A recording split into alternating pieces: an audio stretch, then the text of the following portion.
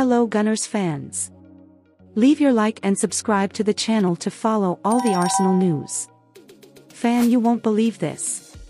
The Spanish striker has been linked with a transfer from the team at the end of this season and could be a huge market opportunity for Arsenal.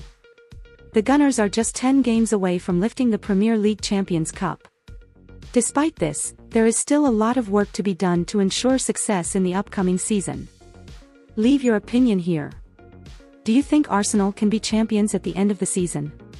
Currently, Arsenal has in its main cast several players who play on the edges, such as Nelson and Saka on the right, Martinelli and the newly signed Trossard, playing on the left.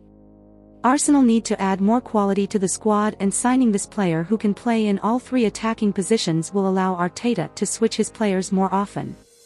According to a report from Sport, Arsenal, along with other teams, is keeping an eye on the situation of Ansu Fati, from Barcelona, and may try to change it next season. The 20-year-old has struggled for game time this season and could be on his way out of the Spanish club. Fati is a very versatile striker who can play anywhere in the top three and would be a great long-term asset. In my opinion, Arsenal should go all out to try to sign this player who could be an excellent piece in Arteta's hands. So Gunners fan. Should Arsenal look to sign Ansu Fati next season? Leave your comment. That's it fan. I'll stop here, at any time I'll update you with the latest Arsenal news. Don't forget to like and subscribe to the channel. Greetings Gunners.